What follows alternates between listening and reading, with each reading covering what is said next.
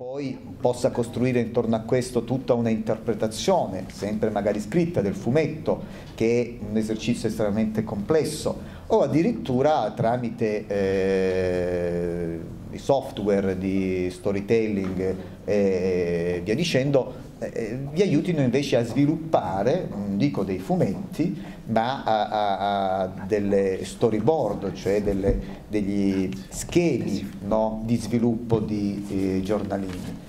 Perché? È perché il cinema come il fumetto sono non altro che linguaggi attraverso cui noi ci eh, esprimiamo. Quindi non esiste soltanto il libro di testo, per fortuna esistono anche i romanzi, esistono le poesie, le novelle, ma esistono eh, quelle bellissime recensioni di libri, le bellissime recensioni di, di film, eh, esistono anche eh, i fumetti, o, o, le, le, o, le, o le cronache sportive, come dice il nostro Virgilio. Va bene, passo la parola eh, al professor Mario Caligiuri. Allora, buona giornata. Allora, um, prima di tutto un saluto affettuoso al nostro, al nostro preside, dico nostro perché come sapete ho studiato, ho studiato in, questo, in questo liceo. Allora, vi parlo, come vi diceva prima il preside Caligiuri, come presidente del Lions Club di Soveria Mannelli. Il Lions è il più grande club service del mondo che ha come motto We Serve, noi serviamo e ha a che fare con la solidarietà, col volontariato, quindi con la creazione di capitale sociale. Il capitale sociale è quell'elemento presente all'interno della comunità che consente che poi uh, all'interno della comunità, quindi nelle scuole, con le istituzioni, con il comune, le cose possano funzionare in maniera da tenere conto dell'interesse generale. Allora, il capitale sociale è anche capitale relazionale, che vuol dire, sta, seguite quello che vi dico, le relazioni le, i contatti, le persone che uno conosce sono un valore, sono importanti per crescere, per le nostre vite, per raggiungere risultati, sono importanti le amicizie che noi abbiamo e dobbiamo coltivarle in maniera sana per crescere noi e fare crescere la comunità. Allora, viviamo in una società dove c'è la crisi dell'esempio. Cosa vuol dire? Ascoltiamo belle parole, soprattutto in televisione, ma i fatti non sono conseguenti. Si dice una cosa e si fa l'esatto opposto. Ora, la crisi dell'esempio vuol dire anche uno, una crisi del sistema democratico. Eravamo rimasti alla crisi dell'esempio. Allora, è importante nella vita, seguite, avere dei punti di riferimento ciascuno di noi li ha dei riferimenti, soprattutto quando cresciamo. Noi prendiamo a modello alcune persone. Possono essere i genitori, possono essere dei parenti, degli amici, dei compagni di classe, cioè a modelli. Allora, è importante scegliersi dei modelli positivi, quelli che ci fanno crescere, quelli che ci ispirano valori. Tenete conto che fino a qualche anno fa la cultura era considerata un elemento positivo che contribuiva a migliorare la propria vita. Oggi non è più così, non si considera la cultura come un valore, mentre è questa che serve sempre di più. Voi state crescendo. Quando finirete il corso di studi, quando vi iscriverete all'università e finirete, vedrete com'è importante conoscere le cose. È l'unico elemento che vi consentirà di riuscire nella vita, poi lo sperimenterete. Allora, da dove ripartire di fronte a questa crisi profonda che stiamo vivendo? Allora, una delle possibili parole, possibilità è quella di ripartire dalle parole. Perché questo è importante? È importante questo aspetto, perché le parole, diceva prima il preside, chi scrive razionalizza i pensieri e li vede in profondità. Fateci caso, quando voi scrivete un tema, vi appropriate di cose che magari neanche conoscete bene, però li capite scrivendo, perché è una tecnica che aiuta a razionalizzare quando uno scrive. E allora, quest'anno i Lions hanno come tema generale la cittadinanza attiva, che vuol dire, vuol dire prendere parte in maniera consapevole alla propria comunità. E quest'anno, diceva il preside, sono presidente dei Lions, che ho fondato 30, 27 anni fa, e abbiamo declinato sulle parole. Abbiamo svolto, insieme anche col presidente Caligiuro, un convegno su Tullio De Mauro, grande linguista, ripartire dalle parole, morto a gennaio. Poi oggi c'è questa manifestazione e il 27 di aprile, sempre in questa scuola, ci sarà una giornata della lettura ad alta voce che sarà dedicata alla poesia. E quindi è un'altra attività che si svolgerà. Allora, ripartire dalle parole per ricostruire la realtà. Guardate, la nostra visione del mondo dipende dalle parole che noi conosciamo. Cioè, non solo, sentivo ieri sera, ah, veramente stanotte, una trasmissione. Le parole sono quello che resta quando finisce tutto, quando noi perdiamo un caro. Resta nelle parole che noi diciamo, resta nella memoria. Quando un episodio storico passa, Napoleone, passa Carlo Magno, passano Matteotti, cioè restano le parole, rivivono nelle parole. Quindi guardate come le parole sono fondamentali, perché ci aiutano a costruire la realtà. E la lettura è importante, come la scrittura. E la parola viene sempre prima, ricordatelo. Avrete letto la parabola dell'ultima cena, vi ricordate come è organizzata?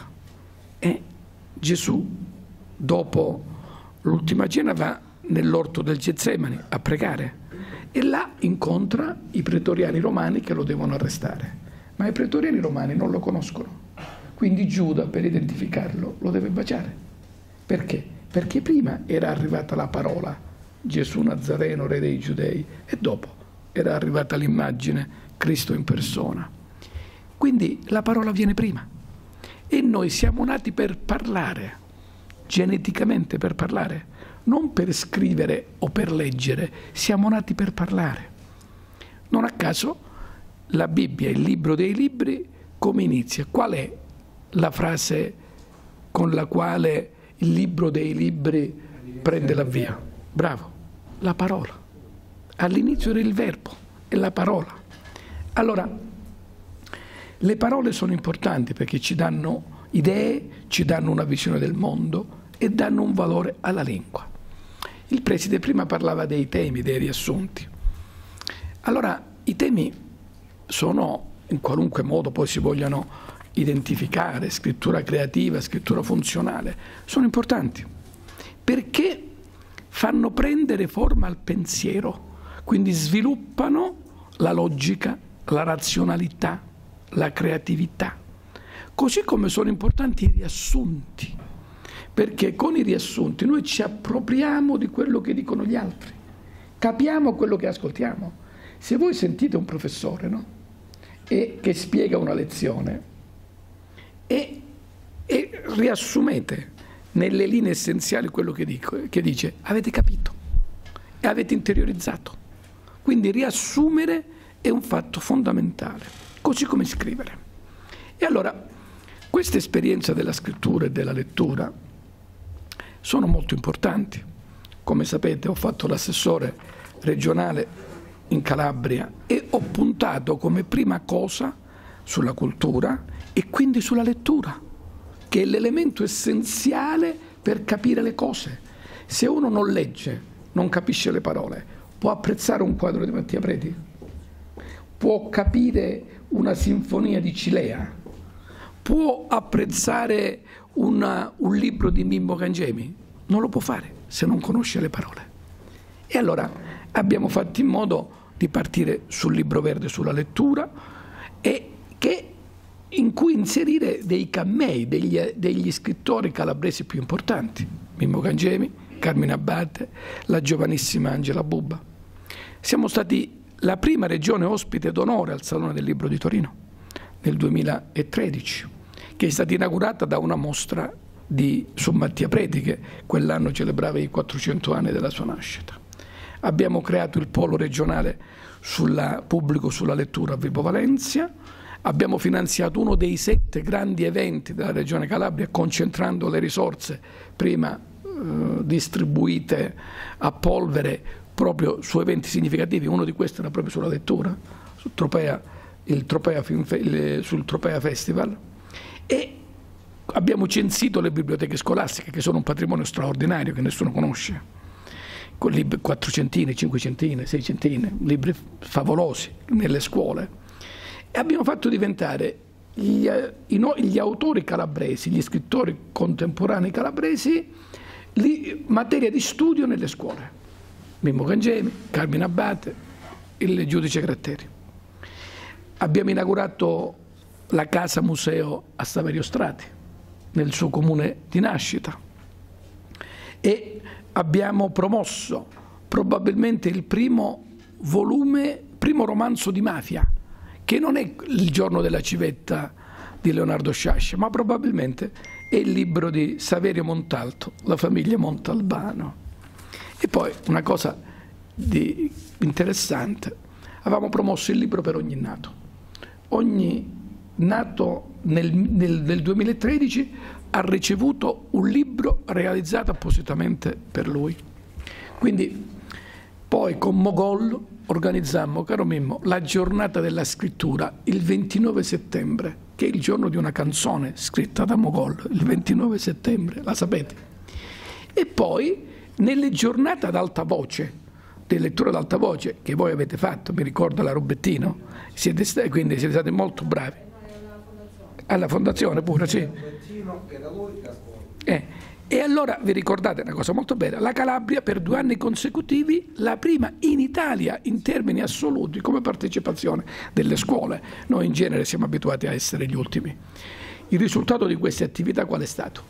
Che non siamo più l'ultima regione d'Italia come lettura di libri di giornali, siamo la terza regione d'Italia come lettura di libri digitali, abbiamo recuperato il 10% di competenze per l'imbalzi tra il 2009 e il 2013 per i giovani quindicenni. Allora, adesso Maria Orsola, professoressa Chiodo, ci ha fatto vedere a Mimmo e a me il, quello che state facendo per eh, il maggio dei libri, complimenti, belle cose, e, e quindi adesso, il, uh, adesso c'è Mimmo Gangemi.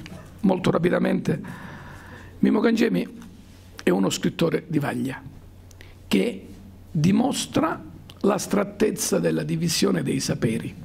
Come vi diceva la professoressa Chiodo, lui è un ingegnere che ha fatto, ha lavorato, ha diretto l'ufficio tecnico della, dell'ASL dell'azienda sanitaria di Palmi, quindi una cosa molto distante dalla letteratura e dall'arte e quasi 25 anni fa ha scritto il primo libro.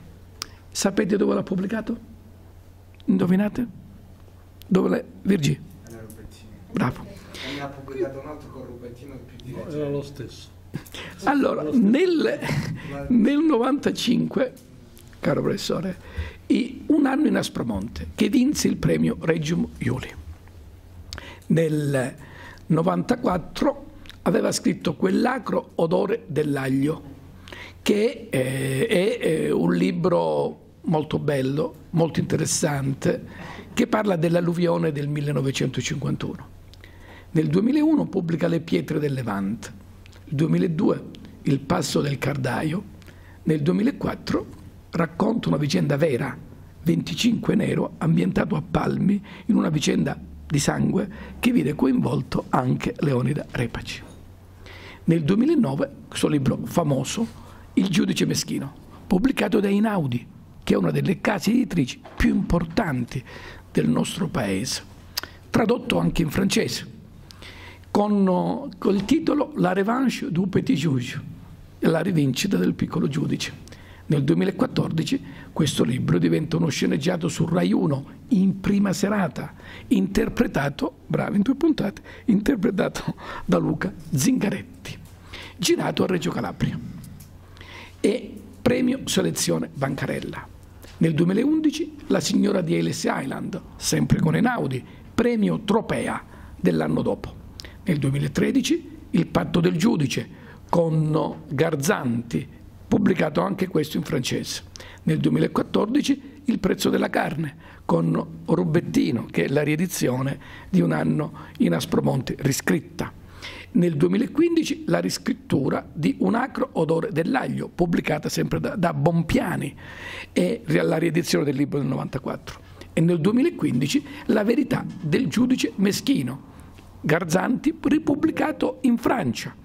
Quindi è una, uno scrittore che vive in Calabria e che pubblica con le più importanti case editrici d'Italia.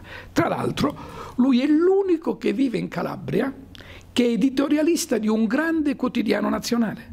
Lui scrive sulla stampa.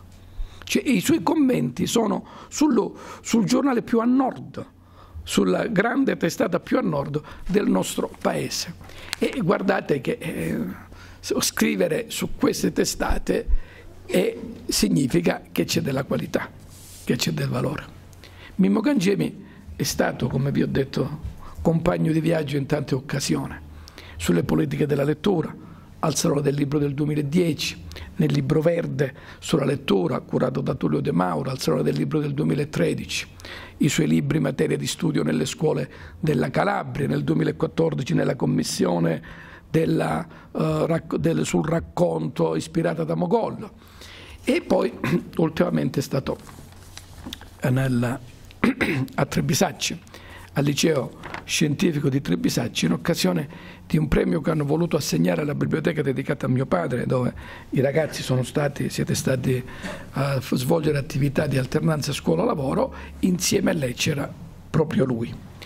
E allora abbiamo a che fare con un grande intellettuale, con un grande scrittore che questa mattina ci darà delle cose importanti. Ascoltiamolo e salutiamolo con un applauso.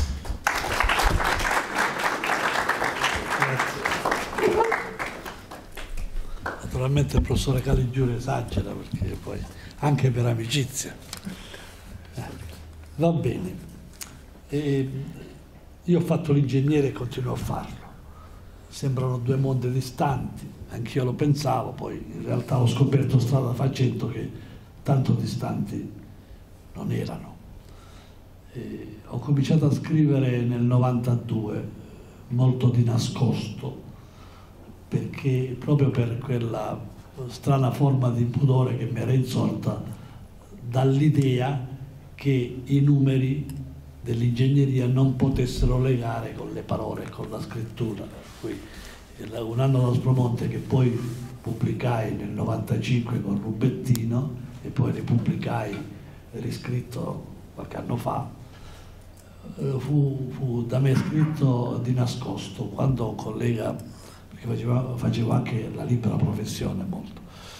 Perché quando un collega entrava nella, nella mia, nel mio ufficio io eh, dissimulavo eh, e mi mostravo intento alla redazione del progetto proprio perché avevo questa idea assurda che le due attività non, non, non potessero collimare eh, al punto che eh, anche la mia famiglia scoprì che io avevo scritto questo questo libro solo a, operazione conclusa ed erano abbastanza increduli e devo dire che non avevo neanche una grande credibilità. Mentre scrivevo io mi accorgevo che era il mio sfogo, mi accorgevo di aver iniziato questa avventura così lontana dal, dal mio mondo di lavoro perché era uno sfogo del mio animo, era un periodo in cui esageravo troppo con il mestiere di ingegnere, per cui eh, mi, mi, mi sorgeva, vivevo stabilmente con un'ansia per le troppe cose da fare. Io ho cominciato a scrivere per disintossicarmi dal troppo lavoro da ingegnere e via via la scrittura ha sempre preso più spazio nella mia, nella mia giornata finché eh, a distanza di più di 20 anni, di quasi di, ora di 25 anni da che scrivo, oggi io mi ritrovo a fare il mestiere da, da ingegnere, fare un progetto per disintossicarmi dal troppo scrivere, sono invertite le parti. Io continuo a vivere in questa terra, sono nato in un paesino dell'Aspromonte, mi sono trasferito di pochi chilometri sul mare, a Palmi, e scrivo storie che evidentemente ho, accumulato dentro il mio animo e che spingevano ad essere, a uscire, ad essere raccontate. E le storie è sempre bene che non vadano perdute, bisogna che le si estragga. E eh, ho la, una caratteristica del mio scrivere e, e che poi è più una necessità interiore mia, è quella di spaziare su più generi letterari. Ho cominciato con una donna allo Spromonte che è qualcosa a mezzo fra un noir, lo spaccato di vita sociale in un paese e, e, poi ho continuato con una saga familiare e ho riabbracciato ancora il noir, il romanzo storico. Ultimamente mi sto cimentando, forse in modo presuntuoso, con il realismo magico, perché io sono sempre stato innamorato di Gabriel García Marquez e Cent'anni di solitudine ha lasciato una traccia pesante dentro di me che ho inteso ascoltare. Quando dentro mi è sorto l'idea di scrivere queste storie di un mondo fantastico, di assoluta fantasia e magia, eh, forse in modo presuntuoso, ho assecondato però l'istinto, ho scritto due storie ancora inedite che parlano proprio di questo, che proprio cercano di realizzare il, eh, quel realismo magico e tanto ha influito nella mia, mia formazione. Proprio, cosa, io vi voglio, faccio un inciso, io vi parlo brevemente di me perché spero che della mia esperienza anomala di scrittore diventato tale eh, a un'età già avanzata possa, possa scaturire in voi qualche, qualche impulso, qualche istinto eh, da, da, secondare. Eh, credo che la mia sia una storia interessante da questo punto di vista perché cominciare a 42 anni a scrivere dopo aver trattato solo con i numeri è un fatto che dà l'idea che eh, ognuno di noi ha qualche cosa dentro che pretende di uscire. E a me è successo nel campo della narrativa e ho assecondato l'istinto eh, fino al punto da ritrovarmi lo scrittore che non avrei mai pensato di poter diventare. Credo che in ognuno di noi ci, sia, ci siano dei talenti più o meno elevati che pretendono di essere assecondati, di uscire all'aria. Nel mio caso sono state le storie, sono state tutte quelle esperienze, quelle quei racconti ascoltati attorno alla ruota del piacere quando ero bambino o, o nel, nei frantoi, nelle pause dei lavoranti che mi raccontavano quelli più grandi, che si erano immagazzinati dentro di me e pretendevano di uscire all'aria, conservate gelosamente. Questo mi ha fatto diventare un narratore, io faccio una distinzione tra narratore e scrittore, sebbene, sebbene il, il confine sia molto labile. Eh, quando il compianto professore Crupi, per il quale avevo un'ammirazione immensa, mi chiese con la sua voce un po' cracchiante, ma lei, ci davamo del lei o del voi, eh, si sente narratore o scrittore, io mi sentii sotto esame perché avevo una grande, una grande stima del professore Crupi. E allora io mh, lavorai alacremente di mente per riuscire a capire per prima io il distinguo fra le due cose. E risposi narratore e lui mi chiese perché lei si sente un narratore e non uno scrittore perché la mia impressione è che lo scrittore sia più costruito, nasca dall'esperienza di lettura, dallo studio dei classici. Il narratore attinge, attinge dal, dal, dal, mondo esterno, dal mondo che vive, da tutto quello che ha immagazzinato negli anni più importanti che sono quelli del ragazzo, del, dell'adolescenza, da, da, quelle esperienze attorno alla ruota del braciere o, nella, o nel frantoio dei miei zii quando i, i, più anziani ci raccontavano storie, favole, magie, accadimenti antichi. E io senza accorgermi incameravo. E man mano che, che scrivevo mi accorgevo di avere perfettamente conservato quei, quei, quei, racconti che credevo fossero andati perduti, dispersi nel tempo, erano passati decenni, invece erano, erano gelosamente custoditi in un angolo profondo del mio animo e a un certo punto si sono mossi dentro quell'anima e hanno preteso di diventare inchiostro sulla carta, di essere raccontati. Io ho solo assecondato l'istinto. Con una caratteristica di cui per la verità vado orgoglioso, io non discuto sul valore o meno dei miei libri, non sta a me dirlo, sta ai lettori, sta ai critici. Eh, valutare se abbiano una, il peso della loro valenza letteraria. Però io mm, sono orgoglioso del, del mio avere scritto senza l'assillo del successo e di essere arrivato alla grande casa editrice quale è Inaudi dopo 15 anni di assoluta gavetta e questo consiglio mi sento di dare a voi, ma non solo nel, nel mondo che io ho affrontato è quello del, del romanzo, della narrativa, ma in tutte le strade verso cui vi guiderà l'istinto, l'animo. Non abbiate mai l'ossessione del riuscire a tutti i costi.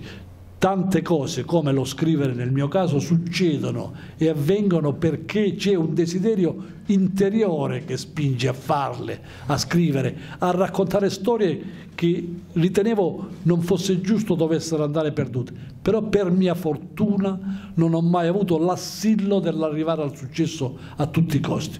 Certo, sarei ipocrita se dicessi che poi quel po' di successo che è arrivato non mi ha inorgoglito e non mi ha fatto piacere, però per fortuna ho saputo eh, resistere alle, alle lusinghe e non essere ossessionato dall'idea di scrivere un libro che avesse una risonanza da rendermi eh, un personaggio di spicco nel mondo letterario. Credo che se avessi, percorso, per, avessi sviluppato questa idea nella mia mente, forse non avrei raggiunto le non, non, sarei riuscito a scrivere le opere che ho scritto, io per, su tutte prediligo fra tutte le mie opere La signora dell'Island e ho la presunzione di dire che, che è un'opera che probabilmente mi sopravviverà. Per cui voglio lasciarvi questo invito a sviluppare i vostri talenti, ad essere rassegnati al dover fare gavetta, come l'ho fatta io per 15 anni, e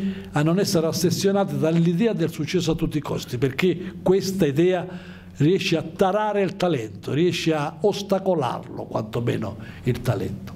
Detto questo, so che molti di voi hanno eh, affrontato dei corsi o roba simile di, di, di scrittura creativa.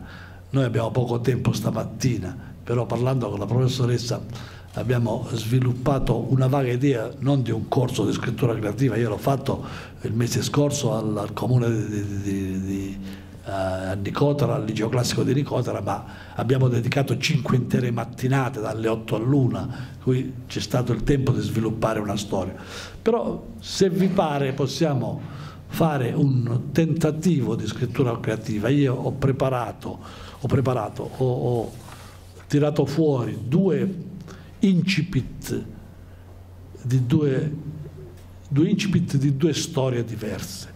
Una che riguarda un naufragio. Noi assistiamo in questo periodo a tanti naufragi nello, nel canale di Sicilia, con tanti morti, con tanti sventurati che percorrono con cent'anni di distanza rispetto ai nostri antenati la stessa strada di miseria e di disperazione che percorsero eh, i nostri affrontando il mare oceano verso le Americhe. E uno più vago, un mezzo noir, giallo, uno più a tinte eh, che, fa, che fa, fa, fa, pensare al delitto. Sono degli incipit, sono delle basi di partenza. Mi piacerebbe che voi le, le, li guardaste, se riusciamo a farli passare sullo, sullo schermo gigante forse è meglio, e che in un'ora provaste a proseguire questa storia, una delle due storie, che sono due storie diverse e che eh, ne ho preparate due perché eh, per andare incontro agli animi diversi che ognuno di voi eh, avrà. Eh, c'è chi si sentirà più attratto dal primo inizio di storia, chi, chi, da, chi, dal secondo, per cui lascio a voi la libertà di scegliere. Ma vorrei che tentassimo, io ho scritto 20 righe, a me bastano, basta che anche voi o a gruppi o assieme, decidetelo da soli, scriviate 20 righe in continuazione di una delle due storie, di quella che vi ispira di più la fantasia, di quella che più vi colpisce, di quella che vi pare più degna di essere proseguita. Io non so se riusciamo a metterle tutte e due, se qualcuno mi aiuta, assieme, assieme sullo schermo, così avete l'occasione di guardarle. E, e qui poi vi darei un'ora di tempo se siete d'accordo e alla fine eh, ne parliamo, ne discutiamo assieme. Eh, qualcuno leggerà il suo pezzo, qualcuno chiederà delle cose, vediamo, lasciamo uh, che le cose vadano avanti così, senza programmarle eh, nel dettaglio. Spero che ci stiate a provare a continuare questi due incipit che vi ho dato anche unendovi a gruppo, non è a gruppi di 3, 4, non è obbligatorio che ognuno, chi si vuole cimentare da solo lo faccia pure ognuno che sceglierà una delle due storie lo prego di analizzare per i primi cinque minuti quell'incipit che io sto dando, perché quando si racconta una storia, per esempio, bisogna anche calcolare la velocità, i tempi della storia. E, e, leggendo i due incipit noterete che eh, Orme è una storia, è una storia breve, nel senso che si svolge in pochi, in pochi minuti eh, il percorso di un uomo su una spiaggia, di un uomo insanguinato su una spiaggia. Il naufragio, seconda, il secondo incipit, è una storia un po' più lunga, nel senso che c'è una, una, barca, una carretta del mare che, che al largo delle coste italiane eh, affonda, eh, gente che muore, tre uomini che eh, si salvano e si avvicinano alla riva per cui è tempo più lungo.